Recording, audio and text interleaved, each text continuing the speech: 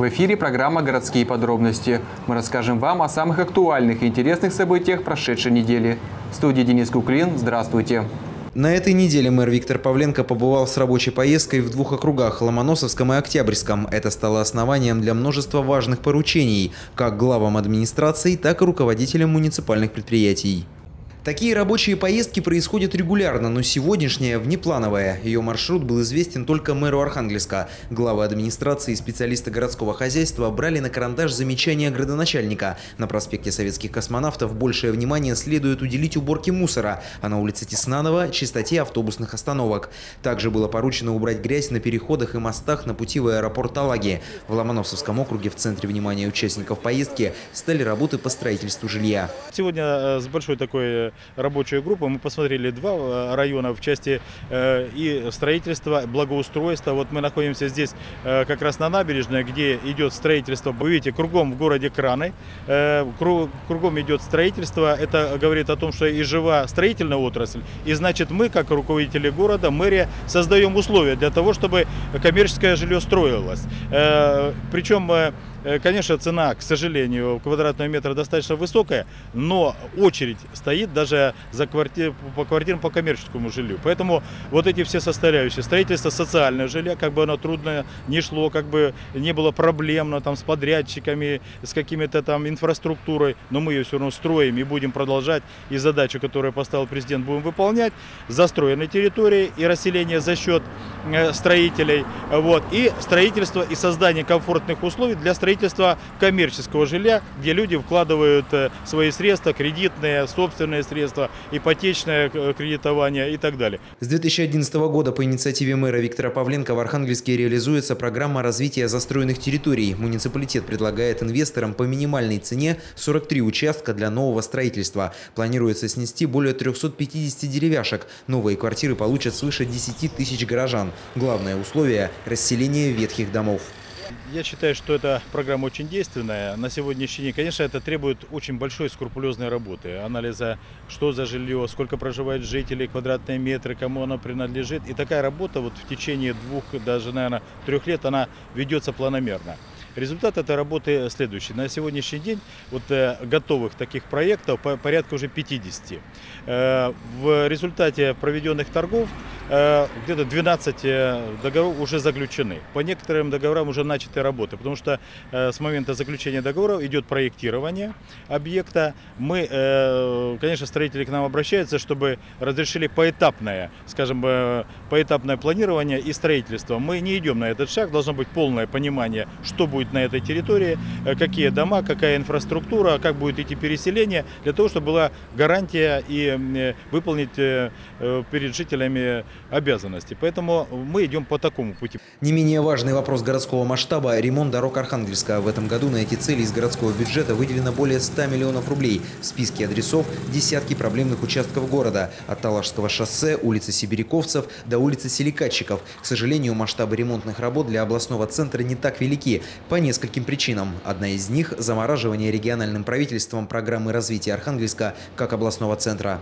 те глобальные задачи, которые мы планировали, и под них э, э, сделали проекты и потратили 120 миллионов рублей, она, к сожалению, конечно, пока не идет. Поэтому э, здесь таких капитальных, к сожалению, еще раз говорю, по дорожных работ в этом году не идет. Но мы надеемся, все-таки в следующем году программа пойдет, и эти работы будут, будут идти. Сейчас это текущий ремонт, на который вот сейчас это 30 миллионов рублей, там там э, идут э, торги э, по, по закону, это по фонду, дорожному фонду, это еще там более 70 миллионов рублей, намечены планы. Но 70 миллионов рублей сумма критически маленькая. В столице Поморья живет треть населения региона и сосредоточено более 100 единиц автотранспорта. А это колоссальная нагрузка на дороги города. Поэтому из дорожного фонда в 4,5 миллиарда рублей Архангельск может и должен получать больше дорожное строительство, ремонт дорог, оно должно быть идти планомерно.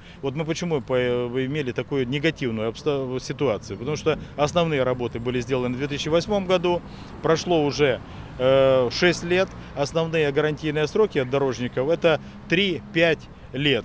Э, Вот еще плюс погодные условия, к сожалению, вот такую трудность. Но несмотря на вот малые деньги, мы постараемся, конечно, максимально, эм, э, максимально сделать на, на дорогах, чтобы было действительно комфортно.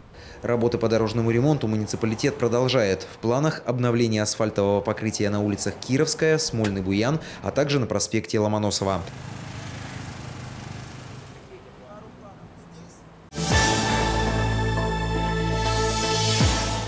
В Архангельске продолжается ремонт наиболее проблемных участков дорог. Техника работает во всех округах города. Как обстоят дела с ремонтом в Октябрьском округе, в нашем следующем сюжете. На проспекте Ломоносова, участок от улицы Комсомольской до улицы Суворова, работает техника предприятия «Архкомхоз». Специалисты проводят фрезерование поврежденных зон дорожного полотна. Занимаемся фрезеровкой, подготовкой и затем, естественно, асфальтировкой. Еще также на участках э, Теснанова-Бодигина, Сибиряковцев, э, космонавтов.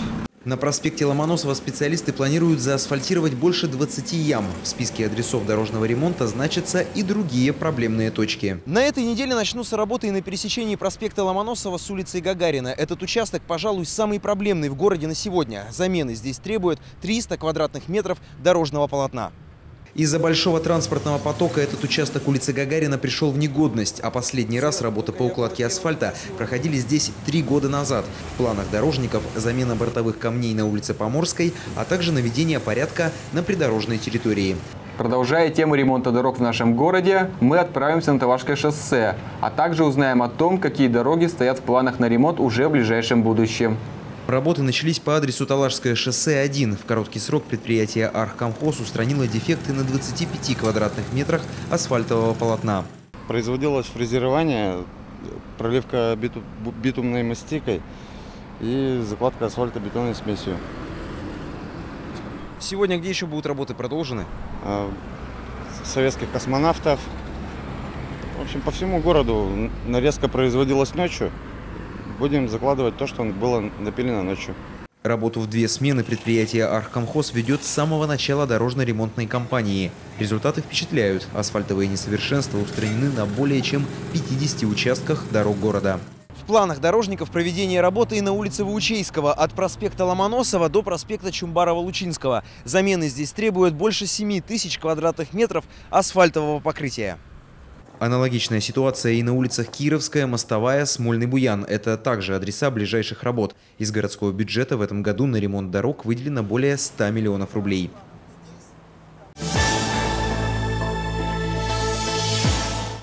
Если с дорогами ситуация под контролем, и мы каждый день видим улучшение проезжей части, то с чистотой в наших дворах дела обстоят не так оптимистично. Мы продолжаем инспектировать город на предмет чистоты, и в этот раз отправимся в Маймаксанский округ. Если там необходимость масштабного наведения порядка, ответ у Алексея Карельского. Из 6,5 тысяч домов в Архангельске две трети деревянные. В Маймаксанском округе таких построек большинство. А это и отсутствие мусоропроводов, и обилие помойных ям. Если их своевременно не вычищать, мусор начинает отвоевывать придомовые территории. На дорожке, которая некогда связывала дом номер 82 по улице Победы с его корпусами, уже несколько месяцев растет курган отбросов. Огромную кучу мусора местные жители огибают по запасному пути. На тропу войны со своим детищем они выходить устали. Помощи-то нет. Наша жилком-сервисная компания плохо очень работает. У нас здесь вообще никогда не убирается, никакого проходу нет. А почему люди-то бросают вот прямо вот на дорогу между Да домами? потому что больше некуда. Контейнера стояли, увезли. И больше они их нам не вернули. Схожую картину наблюдаем в районе дома номер 14 по улице Михаила Нового. Та же управляющая компания «Архгоржилкомсервис» – тот же результат. Мусор стараниями ветра и собак бороздит просторы прилегающих к дому территорий. От помойной ямы мало что осталось. У нас раньше стояли кон- контейнеры, три контейнера. И вот где-то раз, ну максимум бывало, что вот задержится, раз в неделю их убирали, чистили. Такого беспорядка не было. Ну вот до Нового года, наверное, где-то, да. Было выгребание. И вот, я говорю, 7 или 8 мая вот это убрали. А дворник вообще бывает? Дворника никакого не бывает. Вопрос, почему месяцами не убирается мусор, не остается риторическим. Адресуем его прямо директору Архгоржилкомсервиса Сергею Поздееву. Очень тяжело у нас с финансами. Значит, э, мы вот э, в мае месяце, вернее, конец апреля, начало мая по Маймаксе э, работы вели и по Северному округу. Потом у нас, скажем так, в связи с неоплатой подрядчики отказались работать. Прозвучало на планерках даже у мэра, что плохо мы, значит, работаем. Вот нашли финансовые возможности, будем исправляться. Нет варианта вернуть контейнер? Сейчас, да, мы рассматриваем этот вариант. Подождем, посмотрим. Тем более, что администрация Маймаксанского округа готова помогать Архгоржилкомсервису, хоть при этом и своих забот по уборке хватает. Привлекаемые силы администрации округа, дворники, это в количестве 30 с лишним человек, э, плюс дворники управляющих компаний. У нас их 4, вот, и все, в принципе, сейчас э, брошены все силы на уборку мусора по всей территории округа. На сегодняшний день у нас э, убраны центральные территории округа, Бревенник, 29 лесозавод. Еще работы достаточно, поэтому сейчас будем подключать еще дополнительные силы. Есть в округе и те, кто обходится своими силами и берет дело благоустройства в свои руки. Порой действительно золотые. Настоящие хозяева дома номер 102 по улице Заводской не раз праздновали победу в городском конкурсе на лучший дворик. Не поделками едиными они поддерживают его высокий статус, но и порядком. Всем домом выходим, вот 9 мая выходили, после 9 уже выходили. Убираемся, чистим. А насколько важно именно самим жильцам прибираться? Или можно, в принципе, все уповать на управляющую компанию? Ну нет, с ним приятно жить, где живешь, там, как говорится, не гадишь. Лучше убрать, приятно. У нас и дети, и внуки все бегают туда. А у вас от управляющей компании дворники бывают? Нет. А платите за это? Точно не знаю, по-моему, по платим. Какая у вас управляющая компания? Мегаполис. Управляющей компании «Мегаполис», можно сказать, повезло с такими клиентами. Правда, ответственность за уборку с организацией никто не снимает. Вот, например, в каком порядке поддерживает контейнерную площадку возле дома номер 13 по улице Буденова обслуживающая организация «Зафремстрой». Ни единого намека даже на окурок. Оказалось, дело в двойной уборке. У Зафремстроя нашелся помощник. Жительница поселка гидролизного завода Любовь Шишова сама себя называет волонтером чистоты. Каждый день тренирует поясницу во имя порядка. Дворник у нас вот здесь подберется, вот у этого дома, потом где-то там еще он ходит подбирает. А он э, вот там немножко подберет, вот там, я выйду, смотрю, грязно, я опять все подобрала. Скажите, а вы как-то агитируете, может быть, соседей, чтобы тоже к вам присоединились? Да я никого не хочу агитировать. У меня есть здоровье, я ну, вышла. А, по, а по доброй воле к вам кто-нибудь присоединился? Никто, никто, вот еще ни разу. Во дворе дома номер 114, корпус 2 по улице Победы, идейных борцов за чистоту тоже, похоже, нет. В едином такте с воздушными массами колышутся и порхают по придомовой территории пакеты и прочие легковесные отбросы. С грустью взирает жительница девятиэтажки Лидия Кузакова на мусор, загадивший ее полисадник. Я не знаю, как с ним бороться, а мусор обычно летит, вот, обратите внимание, контейнера вывезены, а когда их заберут, это еще неизвестно. Вот сегодня ветер. Ветер весь несет мусор вот сюда, в мой хороший полисадник. Дворник старается, конечно, это все убирать. Вот он утром прошел, все убрал но ветер все разнес. За подобное дефиле контейнеров у панельной многоэтажки отвечает все тот же Зафремстрой. Видимо, набрав в управление много домов, везде не поспеешь. А вот редкий пример, когда лучше меньше, да лучше. Организация «Химик» обслуживает всего один адрес – Менделеева, 14, корпус 1. Дело в том, что эта девятиэтажка кооперативная. Строилась еще работающим гидролизным заводом для своих сотрудников. Предприятия уже нет, своя обслуживающая контора осталась. Нас все устраивает, уборка хорошо. И это самое около домов у нас всегда чисто. Так Дворник часто там, бывает?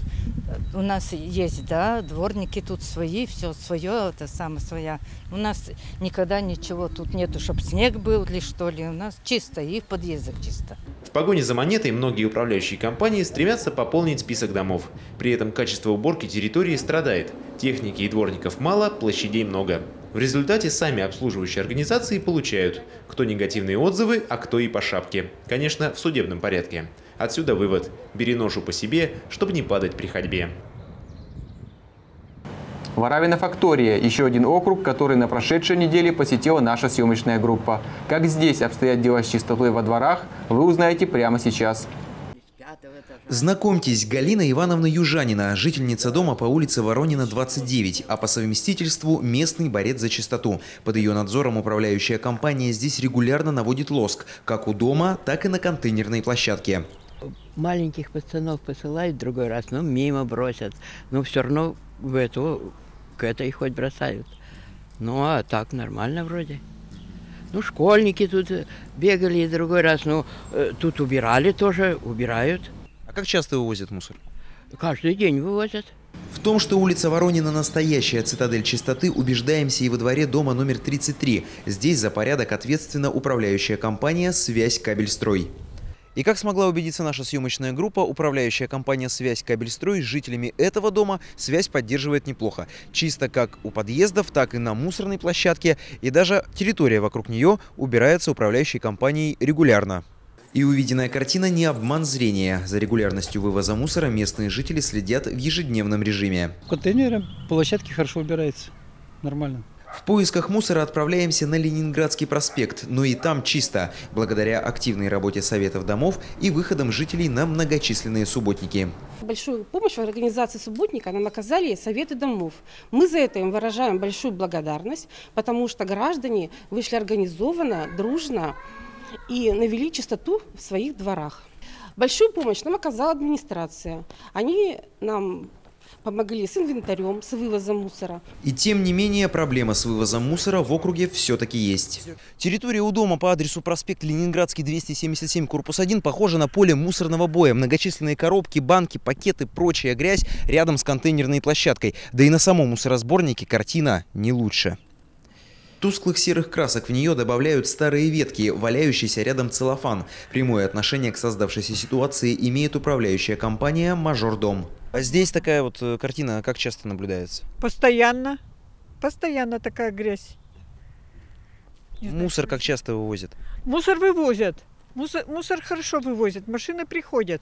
Но дело в том, что много носят мусора-то. Они не успевают там увозить. Они только увезли тут же все, опять все полные контейнеры.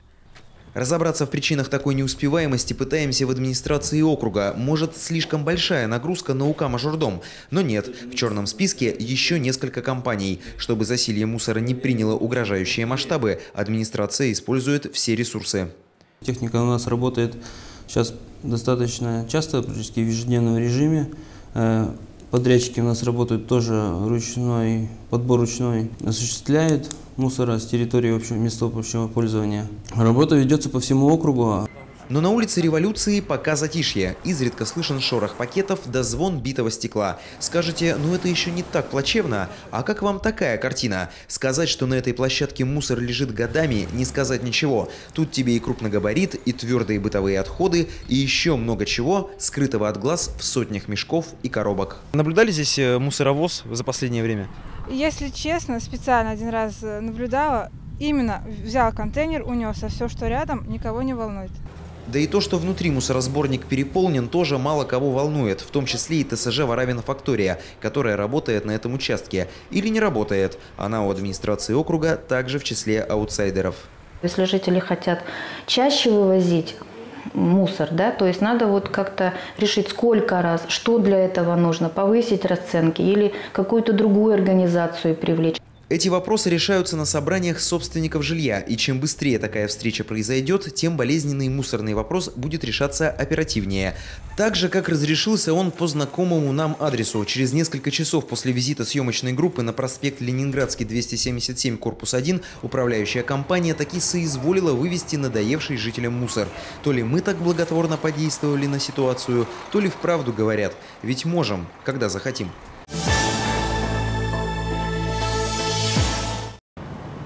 На прошедшей неделе в Архангельске состоялась торжественная церемония открытия плей-офф клубного чемпионата России по настольному теннису среди женских команд.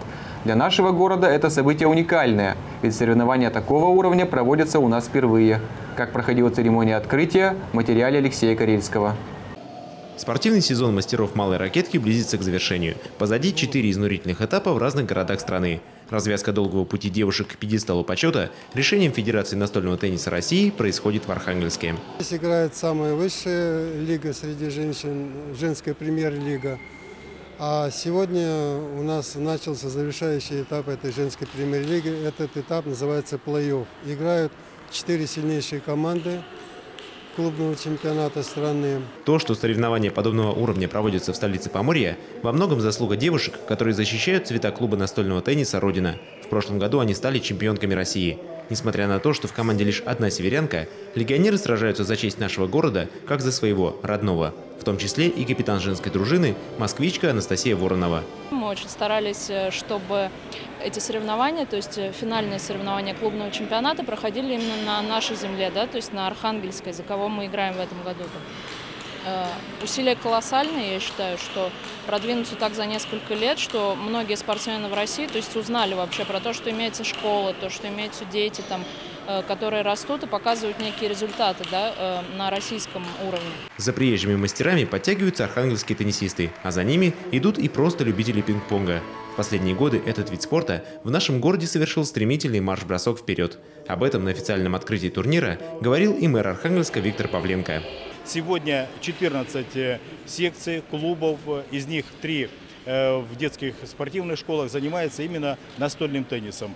У нас проводится более десятка различных соревнований э, по настольному теннису. И очень важно, и, наверное, это тоже дало толчок, я очень благодарен и клубу, президенту Федерации настольного тенниса области, и он же руководитель клуба «Родина», Родин Алексей Федорович, о том, что вот в прошлом году мы совместно сделали такой проект.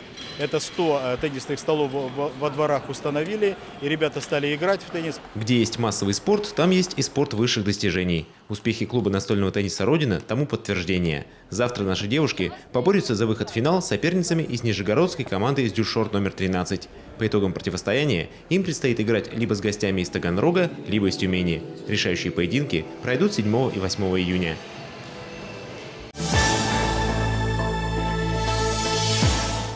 конце нашего выпуска отправимся в гости к Снеговику. Он поселился в культурном центре Соломбова Арт. Что делает этот сказочный персонаж в нашем городе летом, узнаем прямо сейчас. О том, что архангельская родина снеговика известна далеко за пределами поморской столицы, но вот то, что в нашем городе у него есть своя резиденция, для многих в новинку. Поиграть на сказочных барабанах, на скрипке и, конечно же, познакомиться с самим снеговиком. Все это можно сделать здесь, в волшебном доме.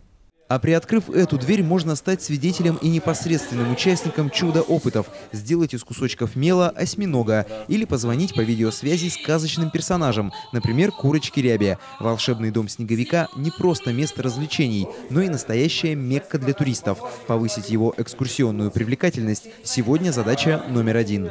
Мне кажется, не только для ребят из нашего города и области этот объект будет интересен, но и для туристов юных из других регионов. Наши юные туристы очень любят, когда им дается возможность что-то сделать своими руками поучаствовать в интерактивной игре, поучаствовать в мастер-классах. Чтобы посещение дома было комфортным как для горожан, так и для гостей города, мэрия Архангельска этой весной провела масштабное обновление объекта. И мы очень надеемся, что этот бренд и что этот объект даст свои результаты, и мы добьемся того, что у нас будут туристы ездить не только в летний сезон, который и так высоко затребован, но также и в другое время года.